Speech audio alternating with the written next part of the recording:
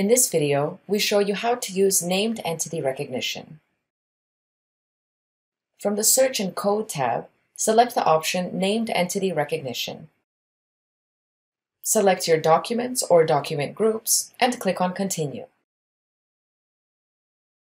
As context, you can select paragraphs or sentences.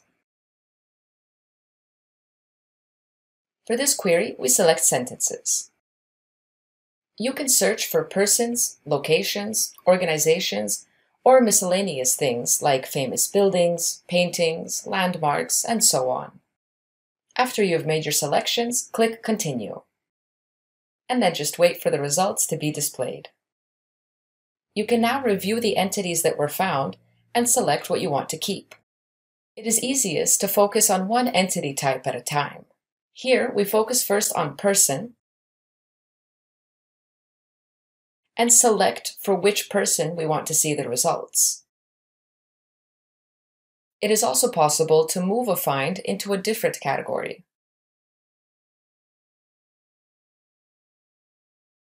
As a code name, you can select the entity name, the category name, or both.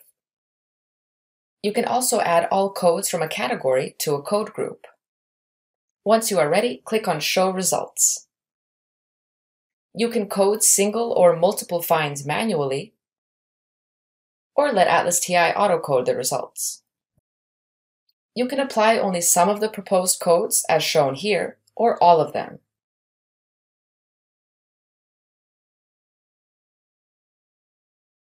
Once you are done, you can go back to the previous screen and work on the next category.